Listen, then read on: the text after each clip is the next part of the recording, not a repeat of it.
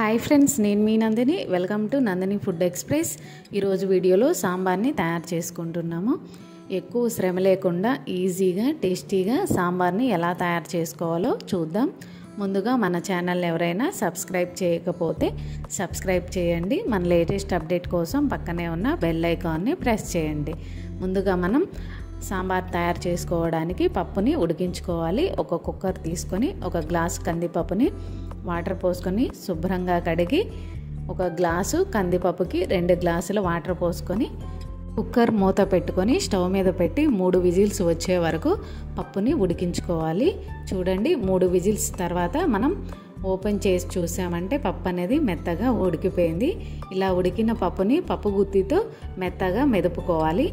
ఇలా మెదుపుకున్న పప్పులో కట్ చేసి పెట్టుకున్న సొరకాయ ముక్కలు మునక్కాయ ముక్కలు దోసకాయ ముక్కలు పచ్చిమిరపకాయ ముక్కలు టమాటా ముక్కలు కొంచెం పసుపు రుచికి సరిపడా కారం ఉప్పు నిమ్మకాయ సైజు అంతా చింతపండు రసం తీసి వేస్తున్నాము.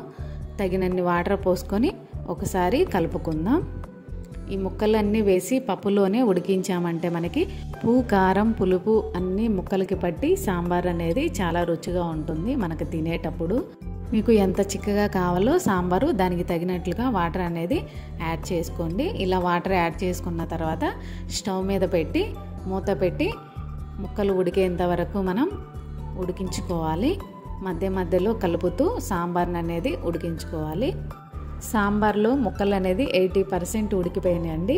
ఇలా ఉడికిన తర్వాత ఉల్లిపాయ ముక్కలు వేసుకోవాలి. ముందుగానే మనం ఉల్లిపాయ ముక్కలు వేసుకున్నామంటే ముక్కలన్నీ ఉడికేసరికి ఉల్లిపాయ ముక్కలు అనేది మెత్తగా ఉడికిపోతాయి.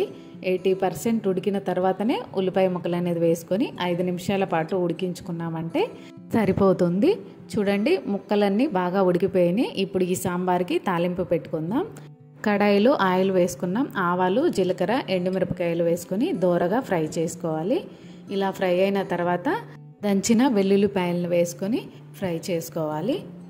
వెల్లుల్లిపాయలు కూడా ఫ్రై అయిన తర్వాత ఉల్లిపాయ ముక్కలు కరివేపాకును వేసుకొని ఫ్రై చేసుకుందాం. తాలింపు అంతా బాగా ఫ్రై అయిన తర్వాత ఈ తాలింపు తీసుకొని మరుగుతున్న సాంబార్లో వేసుకొని కలుపుకోవాలి. తాలింపు అంతా కలుపుకున్న తర్వాత హాఫ్ స్పూన్ జీలకర్ర పొడి హాఫ్ స్పూన్ ధనియాల పొడిని వేసుకొని కలుపుకుందాం. నేను ఎలాంటి సాంబార్ పొడి వేయట్లేదండి. ధనియాల పొడి జీలకర్ర పొడిని వేస్తున్నాను.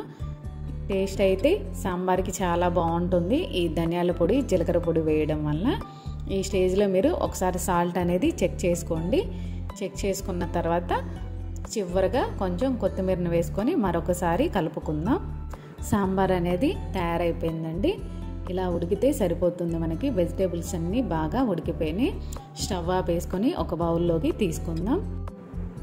తప్పకుండా నేను చూపించిన విధంగా ఒకసారి ఈ సాంబార్ని ట్రై చేయండి. మీకు ఎలా వచ్చిందో కామెంట్ రూపంలో తెలియజేయండి. ఈ వీడియో మీకు నచ్చింది అనుకుంటున్నాను నచ్చితే ఒక లైక్ చేయండి షేర్ చేయండి. మీ ఫ్రెండ్స్ అందరికీ ఫార్వర్డ్ చేయండి.